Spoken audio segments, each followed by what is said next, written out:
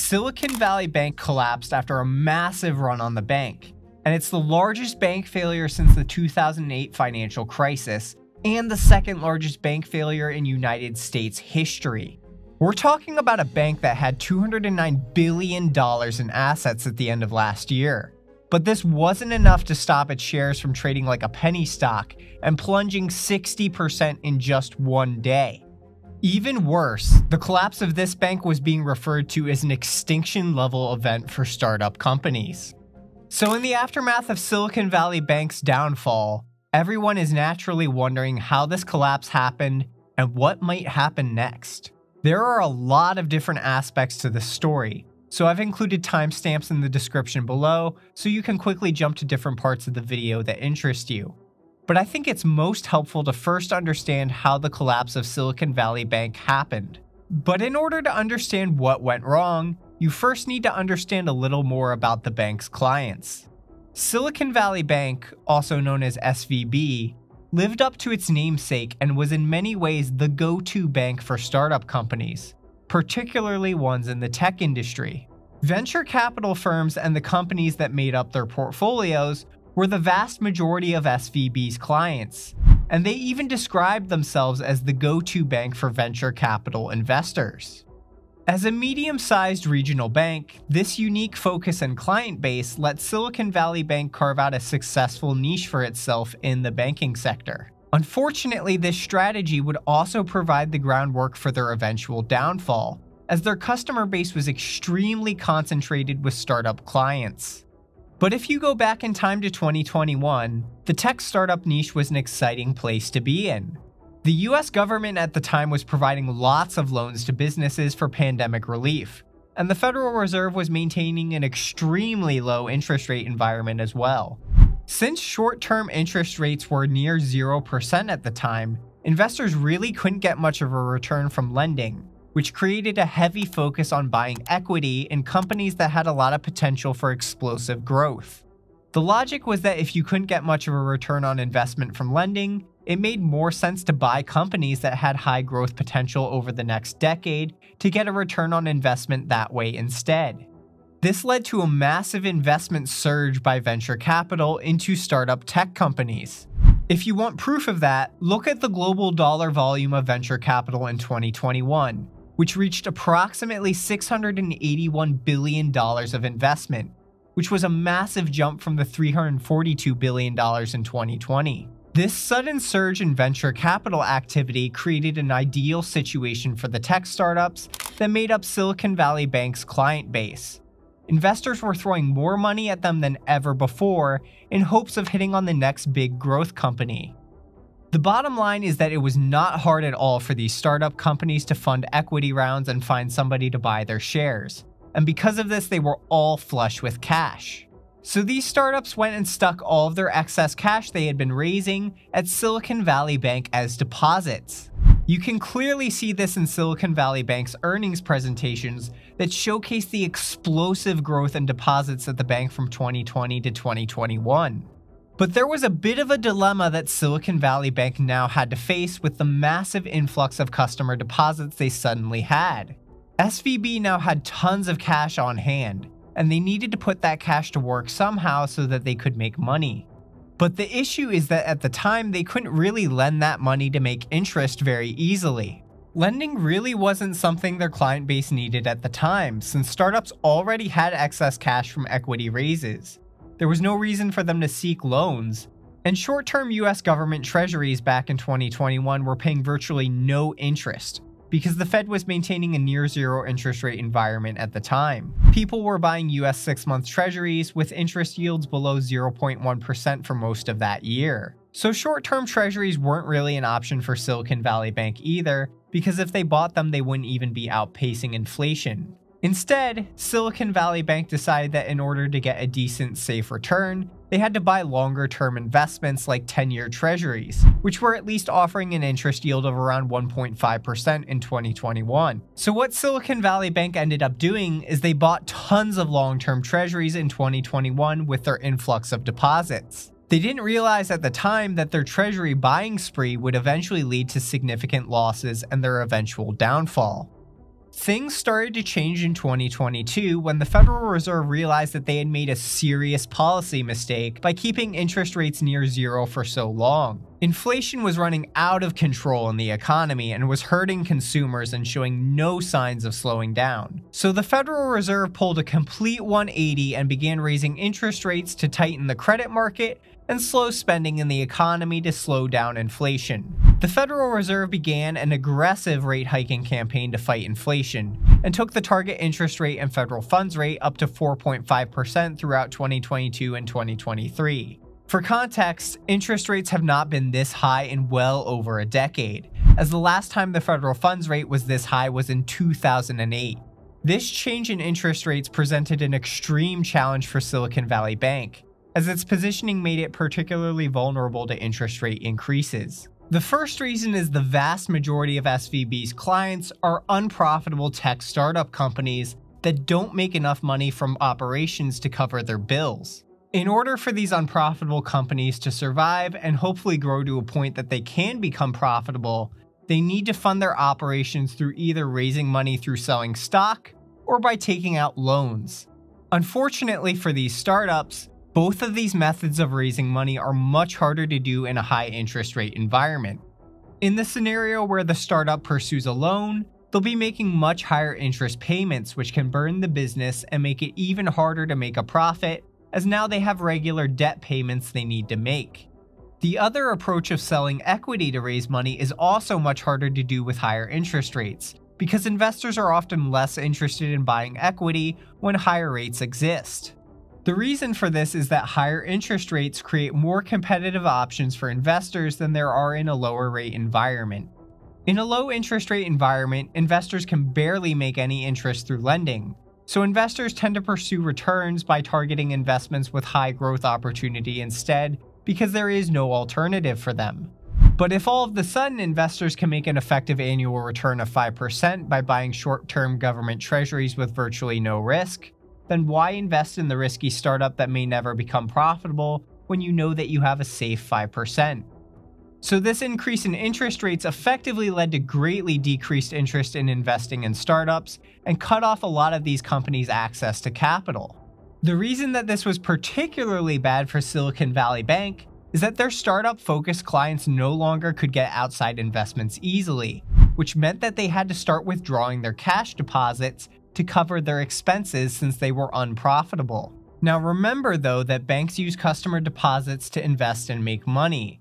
So not all customer deposits are always held at the bank in cash. They keep a certain percentage of cash on hand to meet withdrawals and customer needs, but the remainder of customer deposits might be invested in other assets like loans and treasuries. In Silicon Valley Bank's case, they were heavily invested in long-term government treasuries like I mentioned before. The problem is that they essentially bought most of these treasuries at the bond market's top in 2021 and paid high prices for treasuries with relatively low interest. When the Federal Reserve began raising interest rates, new bonds were being issued offering higher interest to investors than the ones that Silicon Valley Bank had originally bought in 2021. This meant that the price that SVB's bonds were worth on the open market was now substantially less than what they had initially bought them for, because there were now better bonds with higher interest payments available. In order to compete on the open market, Silicon Valley Bank would have to sell their older bonds at a discount to what they had originally paid for them. While SVB bought at a bad time in the bond market, they theoretically didn't have to sell the bonds and realize the loss. They would have emerged unscathed if they were able to hold the bonds to their maturity. At maturity, they would have been paid the full initial amount they had purchased the bonds for, in addition to the interest payments they had collected over time as well. The big problem is that Silicon Valley Bank was forced to sell their bonds at a loss, in order to meet customer withdrawals. Their startup customers were yanking their deposits at a rate that Silicon Valley Bank could not meet with just the cash they had on hand. So they were forced to sell large parts of their treasury portfolio on the open market at a substantial loss in order to return customer deposits. Silicon Valley Bank revealed this on Wednesday, March 8th, when it attempted to launch a $1.75 billion share sale to improve its balance sheet. It revealed that it needed the funds to plug a $1.8 billion hole after the bank was forced to sell $21 billion from its bond portfolio at a loss. This revelation about the loss and the attempt to sell shares created a panic among the bank's clients, and they began to withdraw their deposits at an even faster rate. Big venture capital firms even called and advised their companies to pull their funds out of the bank, which effectively triggered a bank run that made it impossible for Silicon Valley Bank to cover all of the withdrawals. In the span of just 48 hours since the company attempted to sell shares, Silicon Valley Bank collapsed. California regulators intervened on the morning of Friday, March 10th, and seized the bank and placed it under the receivership of the Federal Deposit Insurance Corporation. However, the FDIC only covers deposits up to $250,000, and as a corporate focused bank, the vast majority of deposits at SVB were above this limit and uninsured by the FDIC. As of the end of 2022, 89% of the bank's deposits were uninsured, which is a massive amount. This means only a small fraction of customer deposits were guaranteed to be returned there were over $150 billion of deposits that were uninsured. So the million dollar question on everyone's mind is what does this collapse mean for other banks and the economy? Could this be the start of a domino effect that starts other bank failures? Obviously, no one knows for sure what the future holds and how this situation will play out. But the Treasury is monitoring a few banks closely as Janet Yellen revealed on a testimony on Friday, saying that, quote, there are recent developments that concern a few banks that I'm monitoring very carefully. And when banks experience financial losses, it is and it should be a matter of concern. End quote. So obviously there is some concern from regulators about possible contagion spreading to other banks that they are monitoring. At the same time though, Silicon Valley Bank's situation was rather unique compared to other banks. Unlike other banks, SVB's customer base was heavily centralized with unprofitable tech startups, which were especially sensitive to interest rates. This created a massive influx of deposits at the bank when interest rates were low, but led to those funds getting taken away when interest rates were high. At the same time, SVB's holdings were heavily concentrated in long-term treasuries, which also exposed them to significant interest rate risk on these investments from rising rates. When you combine all of these factors, it gave Silicon Valley Bank exceptionally high exposure to interest rate risk relative to other banks, and this was its downfall because it failed to recognize that risk and hedge against interest rates. So while some believe that there may be contagion among other smaller regional banks, the situation surrounding SVB involves many unique factors that larger banks are more protected against. The large banks are much more diversified than Silicon Valley Bank, and the reforms put into place after the 2008 financial crisis required them to pass stress testing scenarios and subject them to much more government oversight. While people are concerned about other banks, some of the most immediate impact that Silicon Valley Bank's collapse has had is on the tech startups and venture capital clients it served. Many of these companies had deposits at Silicon Valley Bank that looked like they were going to be trapped. For example, Roku disclosed that it had $487 million, or 26% of its cash and cash equivalents, held in deposits at SVB. Many other publicly traded companies were also facing potential losses in the aftermath of the collapse. And that's just from the publicly traded companies that have to disclose these events. There are countless startups and private companies that were facing large potential losses on their deposits. This led some to even go as far as to call this situation a potential extinction level event for startups. Many of the companies didn't even have access to funds to make payroll for their employees over the coming weeks, and were having to seek emergency funding to survive. People weren't left to wonder what was going to happen to customer deposits for too long, though.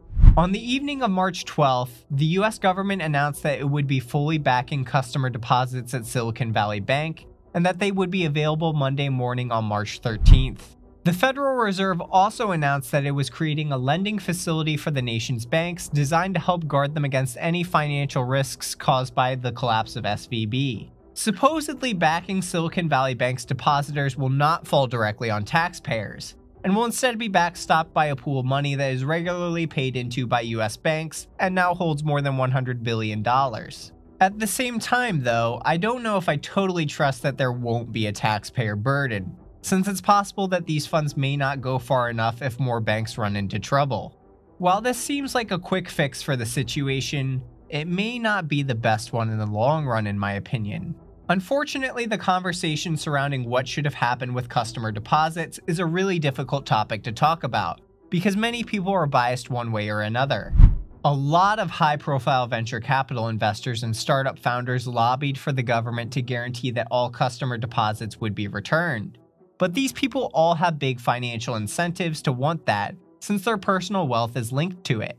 Even if they didn't deposit directly at Silicon Valley Bank themselves, they are at least invested in companies that did, so they are financially motivated to want the deposits to be fully backed so that their investments don't risk failing.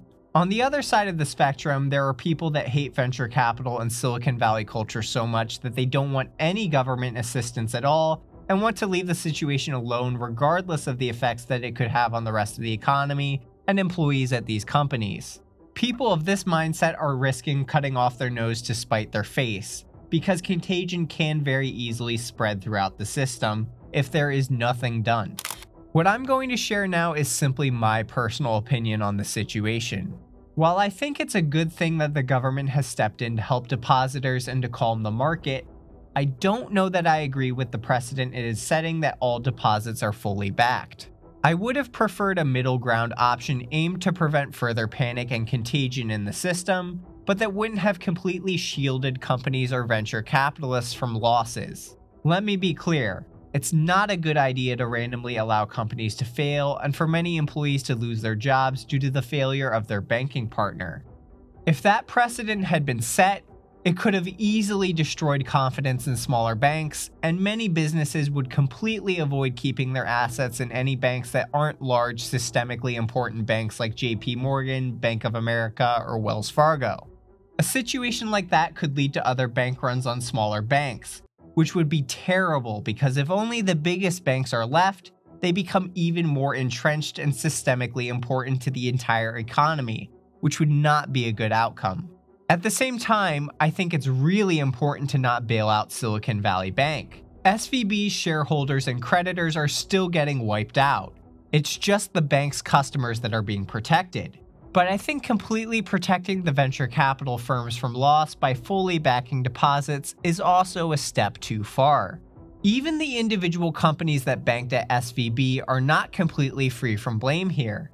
These companies could and should have mitigated their risk profile by spreading their assets between more banks, precisely so that an event like this wouldn't create an existential threat for the company and that they could continue to meet operations without interruptions through alternate accounts.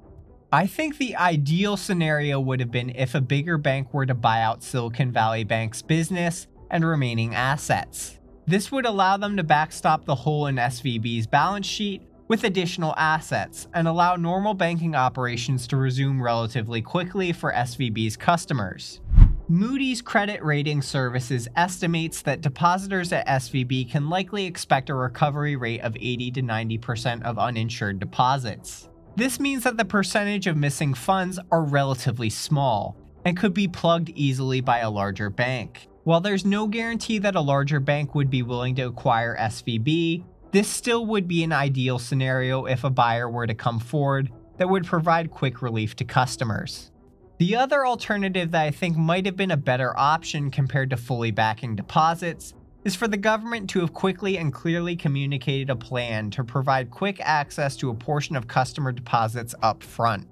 If 80 to 90% of the uninsured deposits were expected to be recovered by the companies anyway, the government could have provided each company access to half of their deposits up front so that they could maintain operations and meet payroll without interruption. Then the remaining deposits could have been provided later on after regulators had additional time to figure out the remaining assets and how to handle them.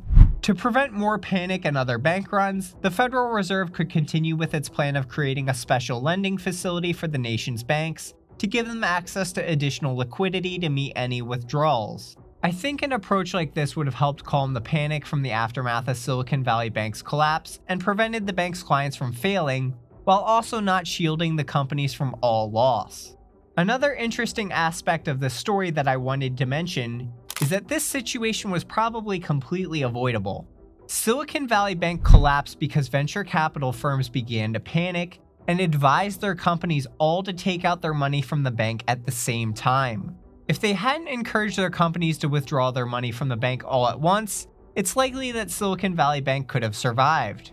It was a bank run that they created for themselves. So it's a bit ironic that many prominent venture capital investors were so vocally asking for a government guarantee that all deposits would be returned when it's a bank run that they started.